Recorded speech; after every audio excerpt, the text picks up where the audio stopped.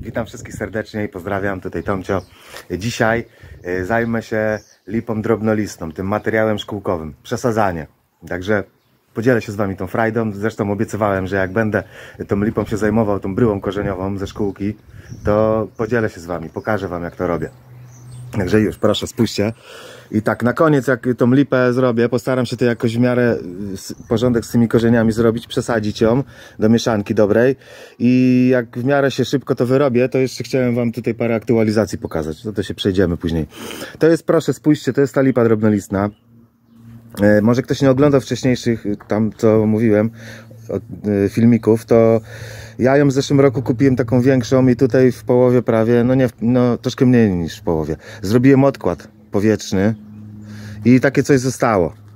I tak naprawdę, mm, to wiecie, to tamten odkład to tam jest, to ja wam go później pokażę. A z tego to miałem to skracać. I odtąd y, skracać ją i dopiero się niech się buduje drzewko. Ale na razie jej nie skracam, stwierdziłem. Przesadzę jej, zrobię jej korzenie, bo ona tak naprawdę nie ma tutaj żadnych gałęzi, dopiero zaczątki jakieś się zaczynają pojawiać. I budzi się. Czekałem właśnie, żeby to zrobić. No także jest ok. Już, już tak troszeczkę powolutku, powolutku i pęczniały, ale teraz to już ma wszystkie prawie napęczniałe i tutaj sobie za- zaczynają kolorek zmieniać na zielony. Także teraz jest dobry termin. Przesadzę ją, zrobię jej porządek, podzielę się z wami tą frajdą. Mm, I tak, wiecie co? Ona jest dość spora. I ja wam to powiem, jak będę przy niej pracował. Wiecie co, na razie to tutaj zrzucę tą powierzchniową warstwę i tak z grubsza, bo ona na pewno ma przerośniętą bryłę korzeniową. I dopiero przejdziemy później tam na stół. Jak będziemy ją zasadzać i tam przycinać korzenie. Tam będzie lepiej, lepiej już y, wygląd. Tutaj zrzucę te najgorsze, te największe tutaj y, tą ziemię taką y, najbardziej zrośniętą. Tutaj rozgrzebię ją i przejdziemy tam. Y, Także tak, zanim zaczniemy, y, to tak, pokażę wam, bo mam tutaj zrobione całe, to tak, o, tutaj mam ziemię zrobioną, y, pod, y, to czy podłoże, mieszankę, tutaj jest ziemia organiczna i tutaj jest perlit i pumex w środku. Perlit, pumex i ziemia organiczna. I nie będę już nic dorzucał, żadnych akadam, nic, euroakadam, tylko na razie jako treningowe w tym. To i tak jest bogate, Pe, y, pumex, perlit i akadama. Przepraszam, pumex, perlit i ziemia organiczna. To tyle. To znacie, w tą ją zasadzę. I zaraz wam pokażę jeszcze. O. W jaką misę. Myślałem, tam jakieś chciałem dawać różne takie, nawet drewnianą mi przechodziła przez myśl skrzynia, bo mam jeszcze tych skrzyń. Ale nie, stwierdziłem, że o, wrzucę ją, wezmę tą jedną, co największą, co mam. Rozmiar mam dwie takie. Jeszcze z tych plastikowych. Jako treningowa będzie super, będzie się rozrastać. To jest dość duża misa. Włożyłem drut i w tą. W tą na 3 lata spokojnie trening, żeby się zbudowało tutaj, ale to zaraz Wam wyjaśnię, jak będziemy, będziemy nad nią pracować, to Wam powiem. No to tyle. To możemy się zabierać za, y, za lipę drobnolistą. Za przesadzanie, bo to jest z materiału szkółkowego. To tam ma na pewno y, taki, ma tam y, na pewno z korzeniami trzeba będzie zrobić porządek spory. To dobrze. Już, już zakładam kamerkę na stojak i zaglądamy tam do środka. Dobra. Proszę. Tutaj są nawet na dole małe pąki. Wow, tutaj to ma naprawdę przerośnięte. Nikt tutaj nie robił porządku. Ona stała w takiej sekcji, tak jak wam mówiłem. Takiej tam, tam w szkółce, w tej drugiej, takiej co drzewa liściaste czasem kupowałem. To w takiej sekcji tam, gdzie takie stare drzewa stoją. Takie, tam rzadko ktoś, bo one długo stoją, bo ja już nie raz widziałem ileś lat wstecz, to nikt ich nie kupuje. I tam mi się tą lipę udało niedrogo kupić, taka duża była. I tak jak wam mówię, podzieliłem ją na pół. Tamto to będzie fajny materiał, tam, tamto ma naprawdę y, potencjał. Jeszcze ma tutaj charakter przy dnie taką krzywy. A ta była taka prosta i w pierwszej myśli o, zobaczymy. Odsłonimy tutaj najpierw, tak jak zwykle, bo zanim zacznę Wam opowiadać, tutaj powierzchniową warstwę, gdzie tu się bazować. Zobaczymy, y, ile było ukryte, bo na pewno już tu widzę, że ukryte jest coś, może być coś pięknego pod spodem. Jakaś. Zobaczymy, jakie nebari nam się odsłoni i jak to drzewko będziemy, jak się będziemy bazować. Z, z materiału szkółkowego, no to zawsze jest tak, tak nie wiadomo co tu jest, bo tak naprawdę Yamadori to sobie można odkopać i sobie zobaczyć. A tutaj no to w sklepie nie odkopiesz, bo, no bo jak, no wiadomo. czasami Yamadori nie są tak głęboko zagrzebane, rosną dość, dość dobrze przy powierzchni, zależy jak się trafia. A w szkółce to są, jak są młode rośliny zasadzane, to zawsze są tak głęboko są wsadzane w ziemię. No to dobra. Dobra. Aha, i powrócę do tego, co Wam opowiadałem. Będę tutaj odsłaniał powolutku. Zobaczymy, co nam się tutaj odsłoni. Tu już się zaczyna ładnie odsłaniać. Wow. I, I tak jak Wam mówię, chciałem ją po prostu w połowie uciąć i zacząć prowadzić drzewko bonsai, na- żeby się materiał budował.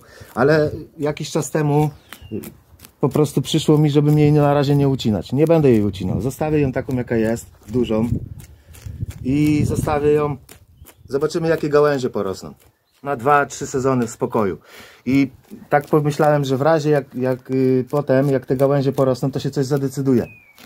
Czy ją zostawiać, czy ją jeszcze jako jeszcze większe drzewo prowadzić, czy ją po prostu zniwelować o połowę, tak jak miałem nadzieję i po prostu, tylko że jeżeli ją będę skracał, no to zrobię odkład powietrzny. I wtedy powstaną mi, jak tutaj ładne gałęzie na górze porosną, to zrobię odkład powietrzny, wiecie, yy, tak jak te gałęzie są i, i tak. Stwierdziłem tak, że na razie nie ma co się śpieszyć, zrobię jej porządek w korzeniach i niech sobie rośnie. Zobaczymy, co się z niej zbuduje. I będzie no, oczywiście aktualizacje w przyszłym sezonie, może czy tam kiedyś, jak będziemy nad nią pracować, to, to wam ją pokażę, jak się, jak się rozrosła, jak, bo tu praktycznie nie ma żadnych gałęzi, prosty kołek jest. Także, no i tyle. Tylko, że tutaj wiecie, no, nie ma za bardzo co, no tylko bryła korzeniowa jest do zrobienia, to jest ważne. Bo gałęzi tak naprawdę nie ma tutaj, żeby przycinać, żeby coś kształtować. Tutaj bryłę korzeniową. Aha. Dobra. O, patrzcie, co się tutaj odsłania. Wow, jak to, ale super.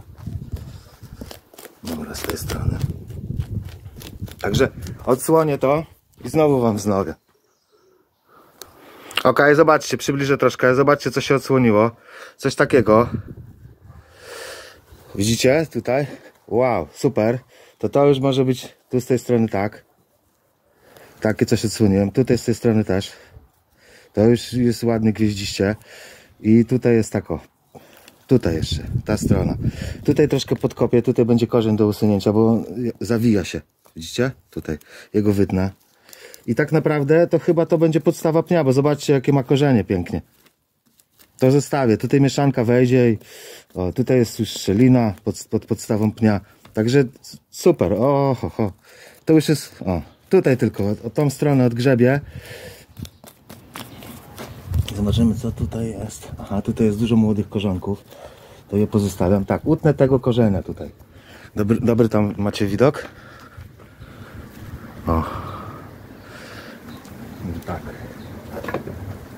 Tego. On tutaj zawija się na tych korzeniach. Rośnie gdzieś nie wiadomo skąd.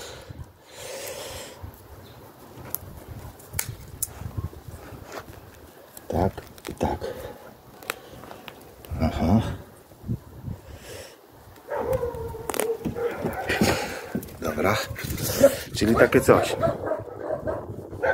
Psy jak zwykle wariują. Tu nam się pięknie poodsłaniało. Coś zaczyna być ten jeszcze odcięty. I cóż, no i tutaj to nic nie wymodzę. Tu jest taki zawinięty korzeń. Zostawię go tak na razie. I tak, teraz to coś takiego by było. Taka podstawa pnia, jaka na pierwsze ze szkółki. Zaraz tutaj odsłonię na dole i zobaczymy, wydubię jeszcze tej ziemi i zobaczymy, może jeszcze się coś usunie. Na razie to jakoby było jako podstawa. Tu. O tu. Baza gdzieś na dole. Tu jeszcze wydubię. Jest trochę grubych korzeni. To przejdziemy tam na stół, będziecie mieli lepszy podgląd i tam poucinam te korzenie. Zobaczymy co tam w ogóle. To tak, zobaczcie, takie coś się odsłania. Ja to trochę jeszcze rozgrzebię tutaj od dołu jak zwykle. O. W ten sposób.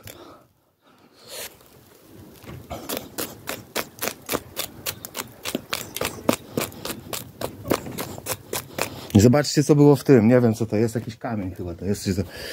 Nie wiem, co to takiego może być. To jest coś...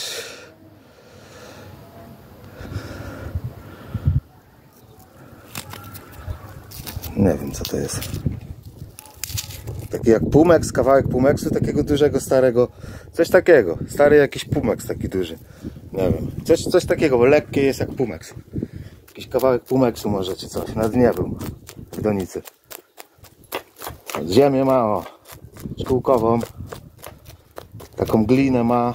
Taką glinę. O, zobaczcie, widzicie? Jaką glinę? O. Taką glinę. My wkładamy akadamę, glinkę inną, paloną.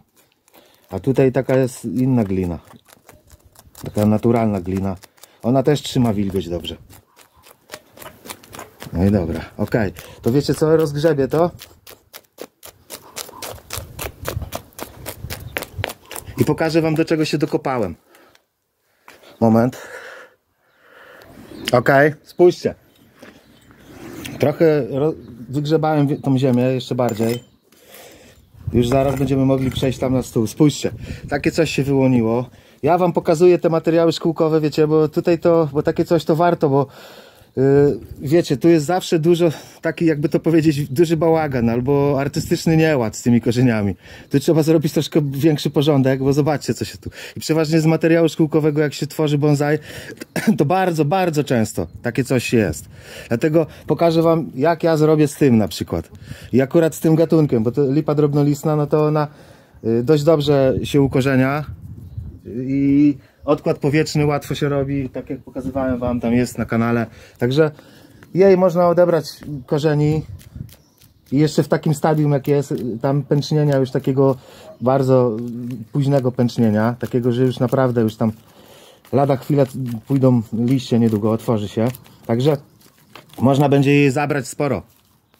I widzę, że tutaj, o zobaczcie, tutaj już zauważyłem taki kłąb korzeni pozwijanych, to ho, ho, ho. Także dobra, dlatego ja tutaj już więcej nie mogę za bardzo wy, wygrzebać tej ziemi, bo ten kłąb korzeni mi tutaj nie pozwala. O.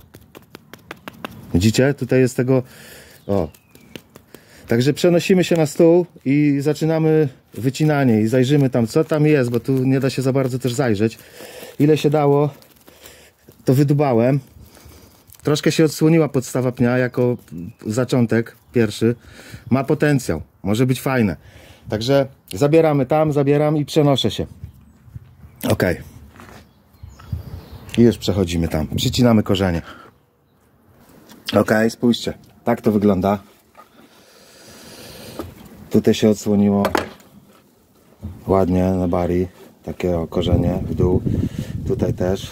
I, I ten jest taki trochę zawinięty. On jest przyrośnięty chyba do pnia, do pnia tutaj. Ale tutaj nowych, młodych korzeni sobie może napuszcza i się zwiększy podstawa pnia tutaj. Taka jednostronna. Taka była. Ale dobra, y, zaczynam, bo mm, żebyśmy dalej mogli co jak, to zobaczcie jakie tutaj jest, wow, tu jest pęd takich grubych korzeni. Zacznę od wycinania tego. Najpierw wytnę delikatnie, żeby nie uszkodzić drzewa. I tak. Tutaj jest spętane to wszystko ze sobą. Na razie tak. Te korzenie i tak trzeba uciąć. Dobra, zobaczcie. Na razie tak. Co tutaj mamy?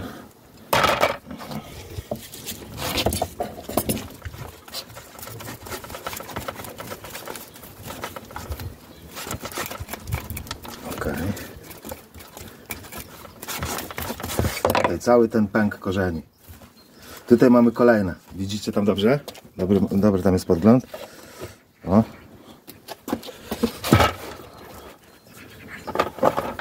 tutaj cały ten pęk.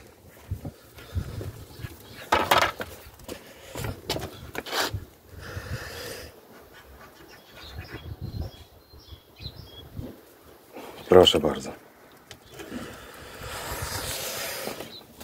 Lepszy będziecie mieli podgląd. Tutaj jest tak, tu masa, masa, masa grubych, po, pogiętych korzeni. Wow!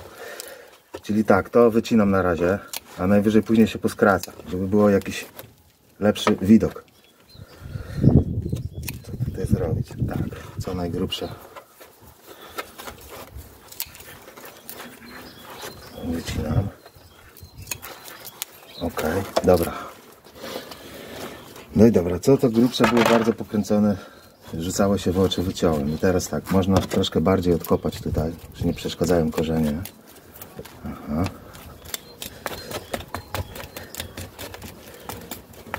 I tutaj tak, jest kolejny. Kolejny gruby korzeń.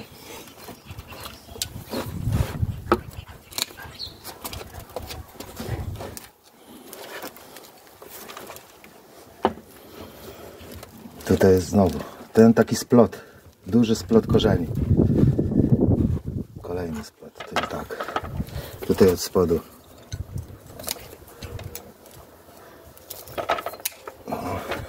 Na koniec pokażę Wam ile, ile tych korzeni uciąłem z tego materiału szkółkowego. Tu jest, dobra, tak, tak. I znowu mamy kolejny splot. Splecione obok siebie pełno taki węzeł. Nie są pozrastane ze sobą, tylko posplatane. I dość grube są, zobaczcie. O. Aha, czyli to trzeba wyciąć wszystko. Jakoś, no. Po trochu, po trochu. Dobra, i teraz tak. Bryła korzeniowa taka już jest.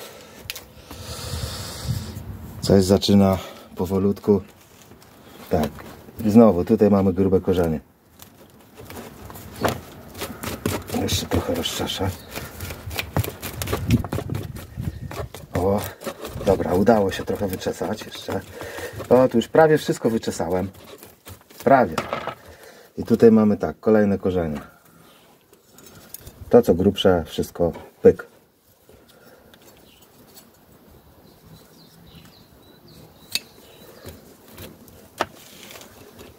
To też.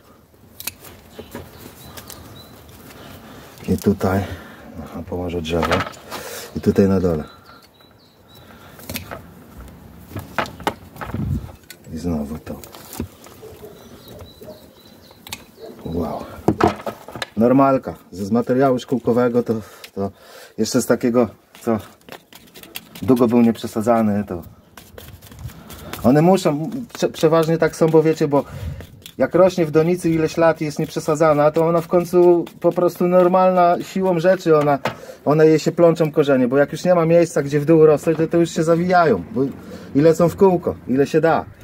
A jak się da wyjść z doniczki, to wychodzą z doniczki, a jak się nie da, no to się zawijają cały czas, cały czas, cały czas w kółko, w kółko, w kółko, aż potem z czasem roślina zaczyna już cierpieć, źle rosnąć, bo jak już nie ma już za bardzo, a tam na dole jest wielki kłąb. I dobra, o, tak po prostu zauważyłem, jak z materiału szkółkowego dużo, dużo tworzyłem. Yamadori to tak naprawdę dopiero, dopiero zaczynam, bo niedawno, od paru, od trzech lat może. Większość to z materiału szkółkowego. Tylko, że wiadomo, niektórych drzew nie da się w szkółce kupić. Dobra, i tutaj tak. Zobaczcie, tak to zredukowałem. Widzicie? Takie coś powstało. I teraz tylko tak, od spodu wycinam to co grubsze. Jeszcze.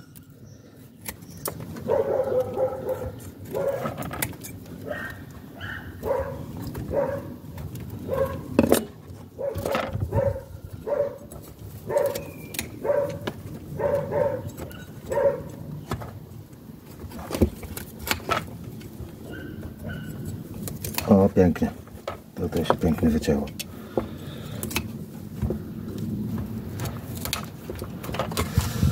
Tutaj już jest super. To co najbardziej w dół, chociaż tak bardzo w dół nie rosło. Tutaj jesteśmy, jestem pod podstawą pnia już. Jeszcze ten korzeń.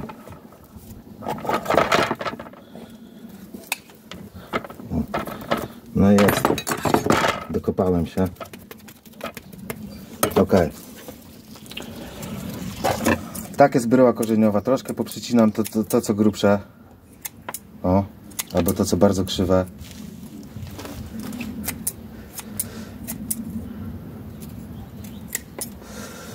Co tutaj jeszcze rośnie?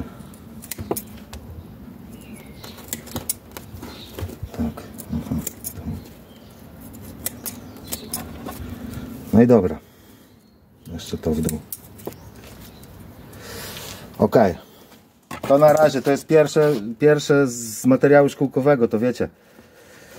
O, tutaj jest taki korzeń, spróbuję go wyciągnąć. Nie udało się.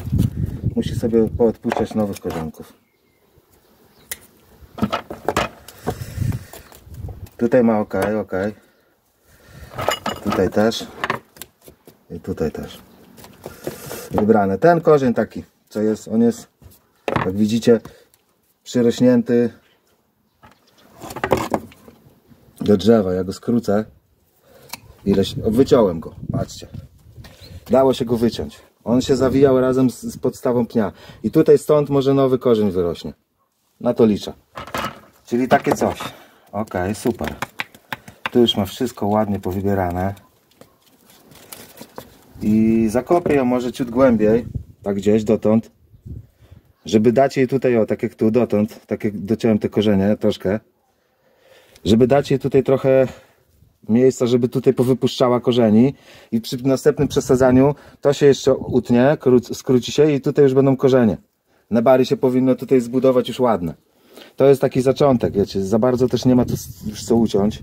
Trzeba je zostawić, żeby możliwość. Ona się ro, ładnie rozrośnie. Przy następnym przesadzaniu też czuję, że ma potencjał ten materiał. Tak wygląda bryła korzeniowa. E, Z materiału szkółkowego, spójrzcie. O. Wstępna, pierwsza. Także okej. Bierzemy się za, zaraz za zasadzanie tego drzewa. Położę go w wodzie. Okej, zaniosłem to drzewo. Tutaj wsadziłem na razie do wody, żeby te korzenie nie obsychały, bo widzieliście, zaraz jeszcze wam pokażę jaka redukcja, spora. Drzewo sobie leży w wodzie na razie i tak, chcę wam pokazać, spójrzcie, tyle obciąłem, to tutaj się dużo nie oderwało. Troszkę się poodrywało, tak, ale naprawdę troszeczkę. Tutaj większość y, odciąłem.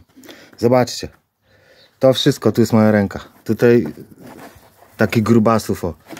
Sporo, no. Materiał szkółkowy. Tyle wyciąłem z tej lipy, zostawiłem jej, o, troszeczkę. Zresztą zaraz zobaczycie, jak będziemy ją zasadzać. To to. Wiecie, co zrobię? Żebyście już wiedzieli, co jak. Tutaj na, na, na dno tej donicy, prawda, o tej, co mam przygotowaną do tej lipy, to... O, spójrzcie. To sobie... Wrzucę sobie keramzytu, o.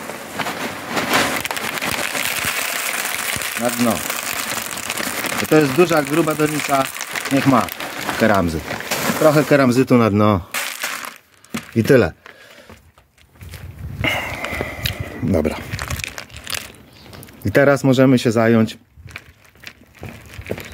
zasadzaniem tego drzewka. Ok, przygotowałem donicę i wiecie co? Ja ten keramzyt obmyłem. Mokry keramzyt jest na dole. Obmyłem go i dopiero będę na to glebę kładł. Mieszankę. Tylko zauważyłem, widzicie jeszcze tutaj? Spójrzcie. y, Tutaj od tej odnogi tak wygląda ta bryła korzeniowa. Tak jest obcięta. To co najbardziej ten, kolejna praca y, przy następnym przesadzaniu. To, to tutaj to się może poskraca. Przy następnym przesadzaniu. Tylko, że tutaj zauważyłem, te korzenie są bardzo za, za, zagięte tutaj. Ja myślę, że jeszcze tutaj to mogę jeszcze trochę tutaj uciąć. O. Tego. O. Z tego korzenia. I tutaj ten, ten też jest zawinięty. Tego też utnę.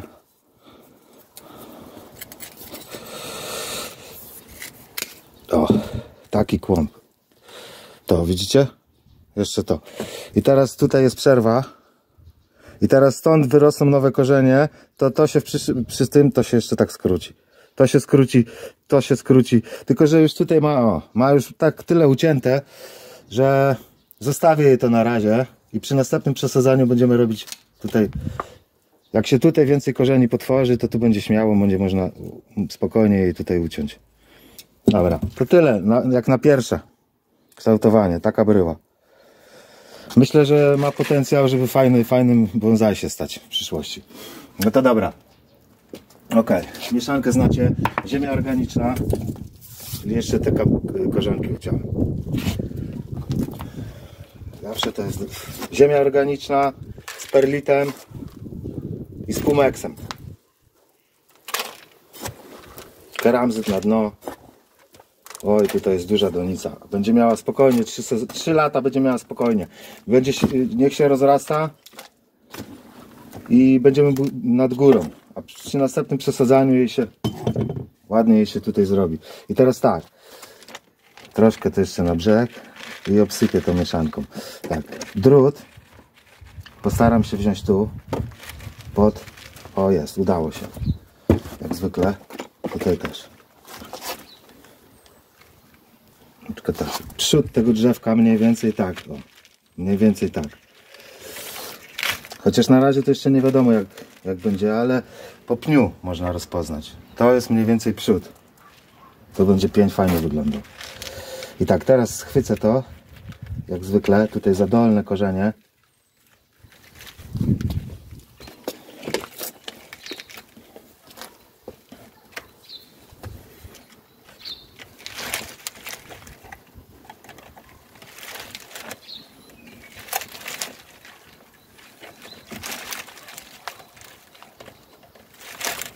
Jest.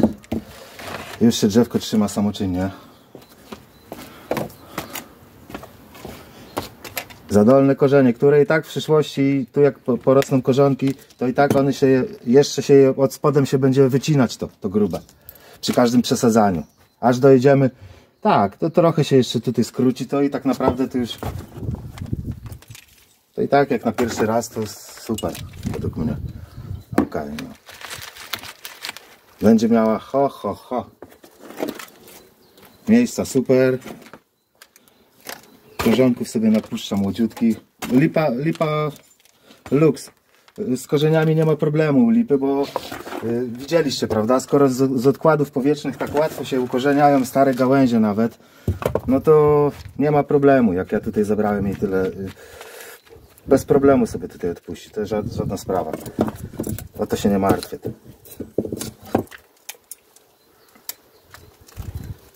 Troszkę tych górnych jeszcze. Tam już niech sobie rośnie. Ten też. No to zaraz obmyję to. Ok.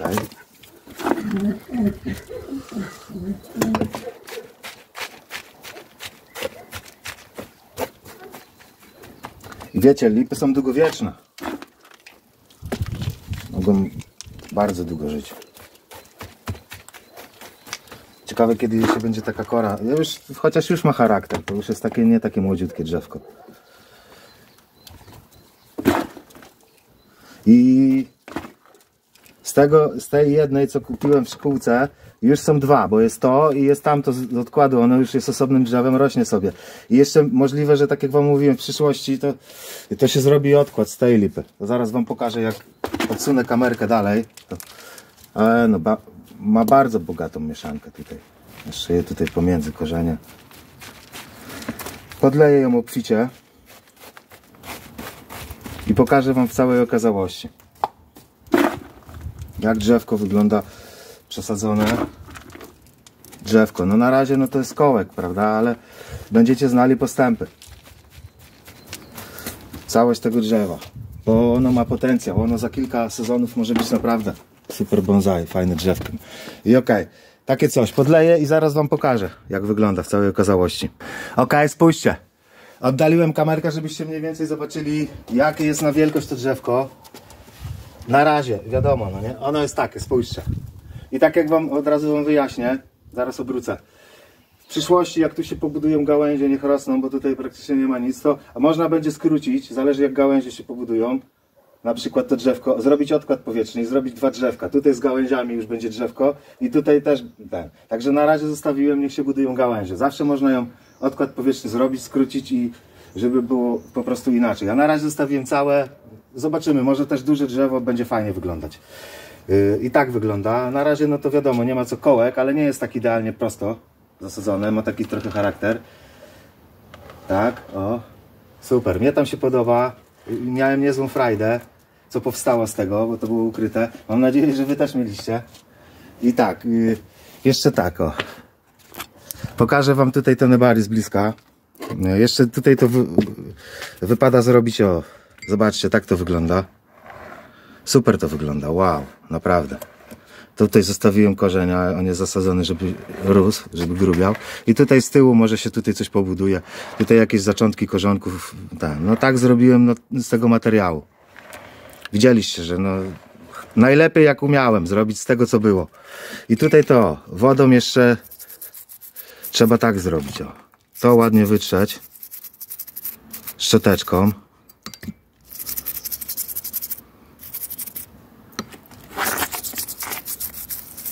Wyczyścić pięknie.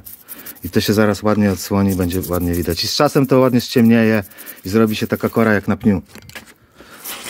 Troszkę się obniżyłem, no gdzieś w style, ale nie aż tak bardzo.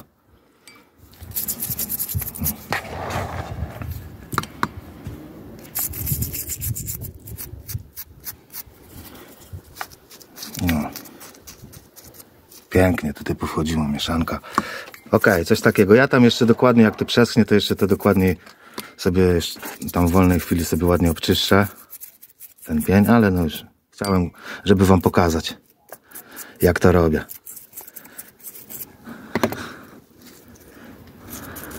To robię. Po prostu.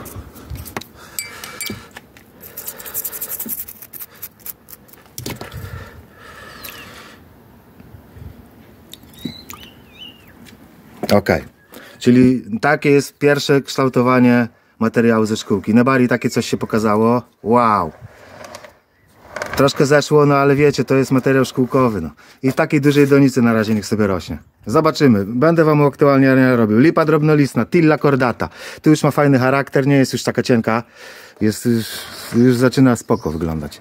Zobaczymy jak gałązki porosną. Wszędzie są pąki, jak widzicie. Czyli gałązek z tego ładnie porośnie. Ok, to już zaniosę ją na jej stanowisko, gdzie będzie stała. I, i wiecie co? Jeszcze tutaj. I przejdziemy się kawałek, bo jeszcze parę, parę minut jeszcze chcę wam coś pokazać. Dobra.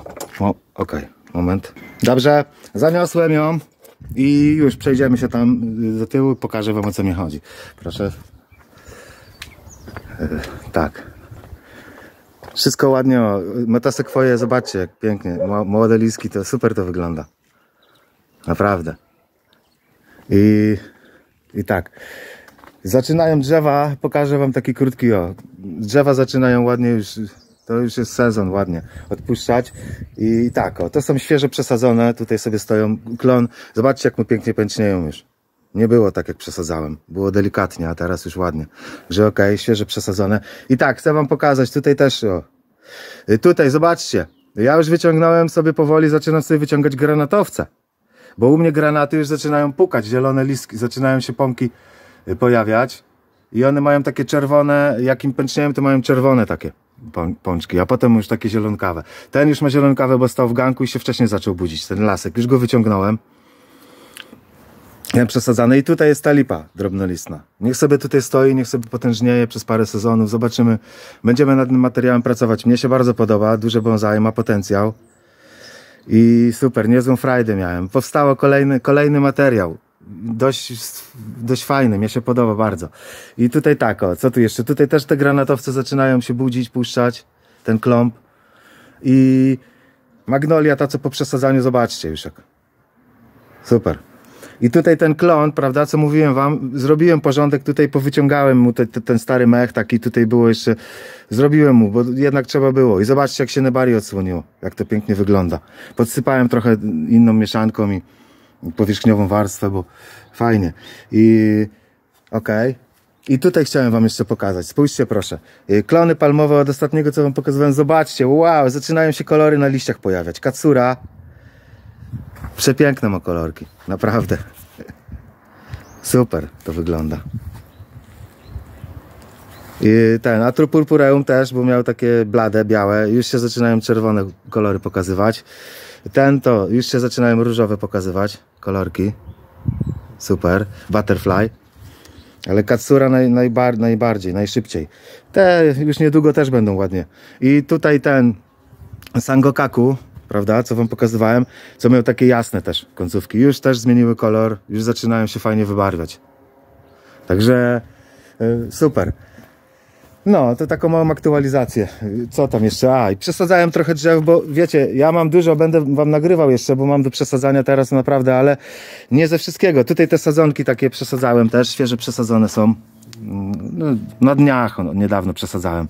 A tutaj jest ten materiał taki, co ode mnie, ten, to z ogródka był wykopany, przesadzałem. To są te wiśnie, ptasie. Tutaj jest tak, o, mała olsza, ta szara taka, co była w malutkiej donicy. Kilka z tych małych donic przesadziłem do większej, niech sobie rośnie. To jest ten, y, co z nasion, oliwnik wąskolistny, co trzy sztuki mi wykiełkowały. Jednego przesadziłem osobno, a i tutaj drugiego też przesadziłem osobno, zobaczcie, taką małą donicę. I tutaj trzeciego, taki jest pokręcony tak go z, z brzegu, też go przesadziłem. I z tych małych do, donic, co tutaj zobacz, sprawdziłem, to te mają na razie dobrze, sadzonki. Jeszcze to przesadziłem, mała metasekwoja, ukorzeniła się z zeszłego roku, gałązka metasekwoi. Tutaj też, zobaczcie, na tej gałązce metasekwoi też ją przesadziłem, tam z pojemnika, o jest, jest pąk zielony. To z zeszłego roku. A i tutaj na razie o. I tyle. No i coś wam chciałem jeszcze pokazać. A, jeszcze wam chciałem powiedzieć tutaj, bo co tworzyłem tego jałowca ostatnio na kanale, no nie, to prawda, to może ktoś tam, ja go nie wystawiam od razu tam na słoneczne stanowisko do siebie. Tylko on sobie tutaj na razie stoi w takim lekkim, jasnym, jasnym cieniu. Troszeczkę po południu tutaj słońce, takie już jak jest popołudniowe, to już jest lekkie, na niego świeci.